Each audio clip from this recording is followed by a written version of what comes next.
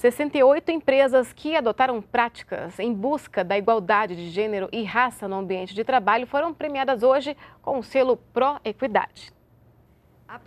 Por um mercado de trabalho mais igual, a quinta edição do programa Pro Equidade de Gênero e Raça concedeu a 68 organizações públicas e privadas o selo que reconhece empresas que desenvolvem ações para eliminar o preconceito e a discriminação.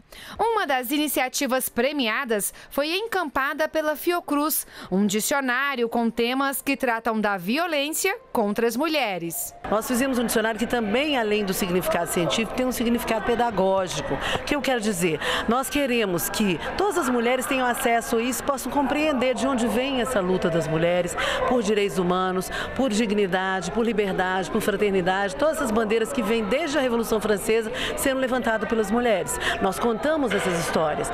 Empresa Brasil de Comunicação também recebeu o selo Pro Equidade de Gênero e Raça. Entre as medidas adotadas pela instituição estão a criação de salas de amamentação e a ampliação das licenças maternidade e paternidade. O Pro Equidade de Gênero e Raça foi criado para difundir novas concepções de gestão de pessoas e cultura organizacional com o objetivo de alterar as dinâmicas praticadas no ambiente do trabalho e criar novas práticas de gênero e de raça, onde o preconceito e a discriminação deixam de existir, ou pelo menos vem uma luz no fim do túnel.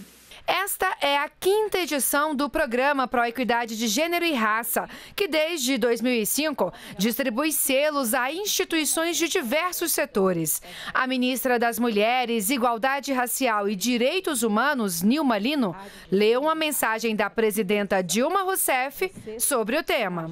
As pessoas e as instituições precisam adotar novos comportamentos e novos valores precisam agir de forma sistemática em favor de relações mais iguais, inclusive no mundo do trabalho. Avançamos muito, mas ainda há muito que ser feito em favor da promoção da igualdade no Brasil.